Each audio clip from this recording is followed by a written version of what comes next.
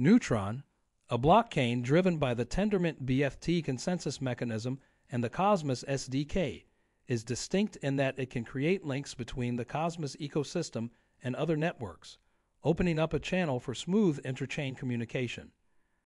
So, let's start with what is Neutron.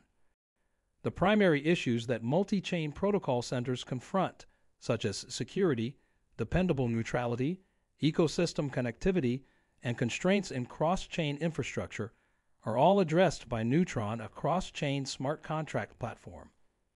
Without having to deploy or maintain multiple custom protocol versions, Neutron allows developers to deploy apps once and scale across the entire IBC network, which is made up of multiple interconnected blockchains. Neutron enables projects to take advantage of all the features of Interchain, expand their market reach, and give DeFi applications access to the complete financial stability of the Cosmos Hub. Okay, now let's describe how exactly does Neutron work. Cosmos SDK the Cosmos SDK, a flexible framework makes developing safe blockchain apps on Tendermint BFT easier, is used in the construction of Neutron.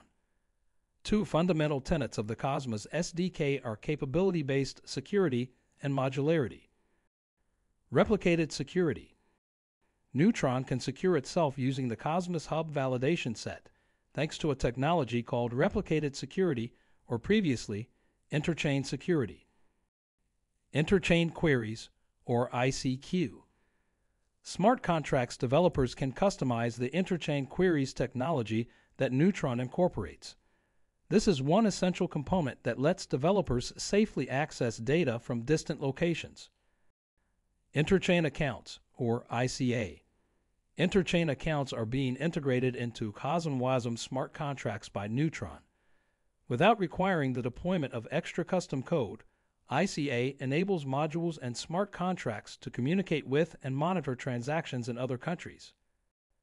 CosmWasm, a platform for smart contracts designed especially for the Cosmos ecosystem, is called CosmWasm. Its integration with Neutron improves the network's flexibility and smoothness of operation. So, that's the end of this video.